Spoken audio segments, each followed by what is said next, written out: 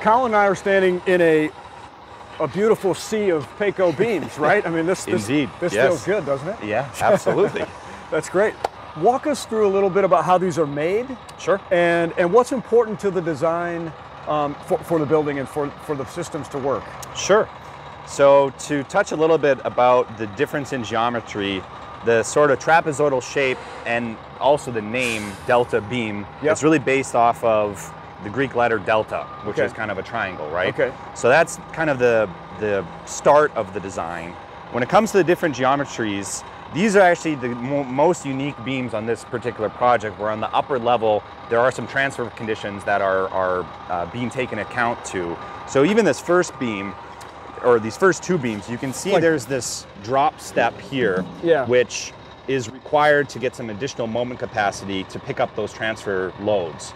So this will still be exposed, and if you look at the first beam up ahead, on this particular side, this will actually accommodate a difference in elevation. So on one side, the hollow core will be higher up, uh, but we're actually accommodating the, the, the change of elevation. In terms of the overall design as well and how it's manufactured, you Yeah. can kind of see there is some pre-camber on the beams. Interesting. yeah, Um, I didn't notice that before. So that is designed in essentially, and Yep. it's several steel plates that are uh, the, again the bottom plate will be pre-cambered, and everything's cut on a big plasma table. So in terms of changes of geometry and customization, really the possibilities are endless. And so the top plate, the bottom plate, and the webs will all be cut on that plasma table. So each one of these penetrations is all cut with a CNC controlled uh, plasma table Okay. set into a jig. There's shop installed reinforcement in the interior section of the beam. When it comes to fire rating, obviously structures have to take that into consideration Mm-hmm. Absolutely. in terms of code. Have the beams been UL rated and tested? Is that correct? yes, absolutely. So there, the Delta beam itself is a true composite beam that takes into account both the steel profile on the exterior as well as the concrete in the interior section as well. So really the concrete design in the interior is where the fire rating comes from. Uh, so there are UL listings for one through four hours.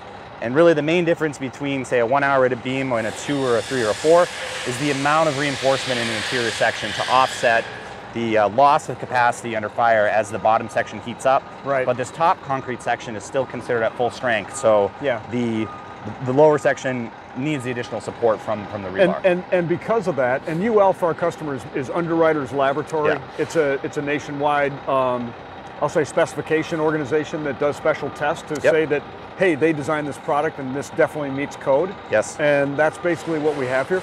The neat thing is no fireproof is required here. that's uh, It's- absolutely right. It can be exposed or it can just get a drop ceiling or whatever other uh, architectural feature that the architect would want Mhm. uh, on the Absolutely. inside of the building. So, yeah, that's huge. Yeah. It's huge. It can c- completely eliminate the need for any spray-on fireproofing, and uh, hollow core can pretty easily get a two-hour rating as well. And I believe Very you, you have so. some UL testing as well to Oh, yeah. support that as well. Yep, two, three, four hours. Absolutely. Okay, Yep, for yeah. sure.